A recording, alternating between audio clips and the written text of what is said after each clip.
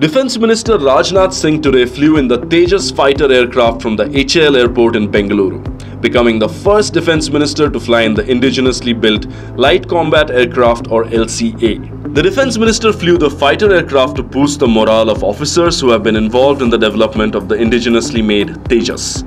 So what is the Tejas? What is the history behind it?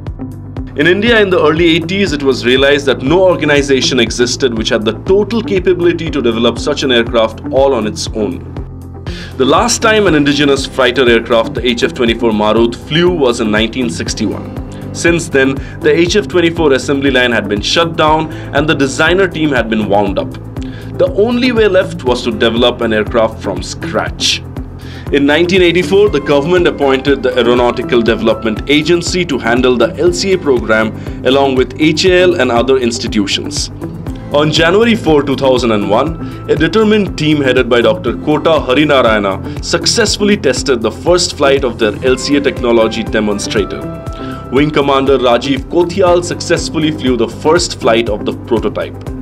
The then Prime Minister Atal Bihari Vajpayee named the aircraft Tejas, which translates to radiance in Sanskrit.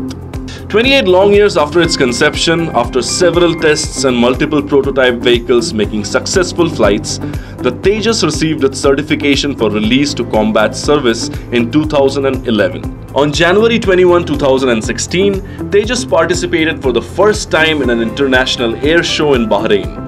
By this time, it had flown 3,061 sorties, adding 1,954 flight hours without a single accident. On July 1st, 2016, after waiting in the wing for over 15 years since its first flight, two Tejas fighters were finally inducted into IAF's number 45 squadron, better known as Flying Daggers. Initially, the IAF had placed an order with the HAL for 40 Tejas aircrafts, but last year, the IAF issued the request for proposal to HAL for the procurement of another batch of 83 Tejas at a cost of over rupees 50,000 crores.